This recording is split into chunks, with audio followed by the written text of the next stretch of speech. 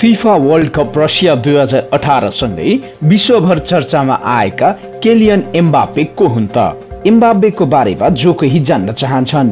आज यस भिडियोद्वारा तपाईँहरूलाई एम्बाबेको बारेमा केही जानकारी दिनेछौँ। एम्बाबेको फुटबल खेलको यात्रा एघार वर्षको कलिलो उमेरदेखि नै सुरु भएको थियो। रुसमा भएको विश्वकपमा अर्जेन्टिना विरुद्ध प्री क्वार्टरमा दुई गोल गरेपछि उनको चर्चाले आकाश चुम्न पुग्यो।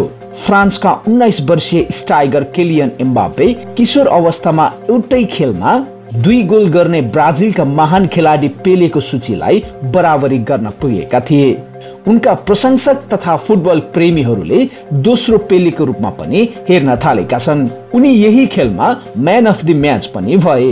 विश्वकपको फाइनल खेल समापनसँगै फिफा यङ प्लेयर अवार्ड एम्बाब्बेको हातमा परेको छ भने क्रोसियाका लुका मेड्रिजले गोल्डेन बल पाएका छन्। एम्बाब्बे उत्कृष्ट युवा खेलाडीको पङ्क्तिमा पनि अगाडि छन्।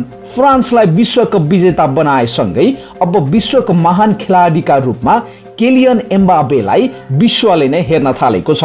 एम्बाबेको चर्चा सत्र वर्षको उमेरदेखि नै थियो। तीव्र गतिमा बल लैजाने उनको शैली र विपक्षी डिफेन्डरलाई सहजै काट्न सक्ने खुबीका कारण धेरै क्लबहरूले उनलाई आँखा लगाएका थिए। तर उनी फ्रान्सकै उत्कृष्ट क्लब पेरिस सेन्ट जर्मेन पिहेब्जीमा आबद्ध भएका छन्। इङ्ग्लिस क्लब आर्सनलका प्रशिक्षक आर्सने बेङ्गर एम्बाबेसँगै पूर्व स्टार थियरी हेनरी जतिकै प्रतिभा भएको बताउँछन्। फ्रान्सका अर्का पूर्व स्टार निकोलास एनेलका एम्बाबेको वर्तमान खेललाई सन् उन्नाइस सय छयानब्बेको ओलम्पिकमा ब्राजिलका रोनाल्डोले खेलेको खेलसँगै दाँच्ने गरेका छन्। एम्बाबेका बुबा विल्फ्रेड फुटबल प्रशिक्षक पनि हुन्। उनी क्यामरुनबाट बसाइ सरेर फ्रान्स आएका हुन्। आमा फायजा लामरी ह्यान्डबल खेलाडी हुन् भने उनी अल्जेरियामा जन्मेकी थिइन्।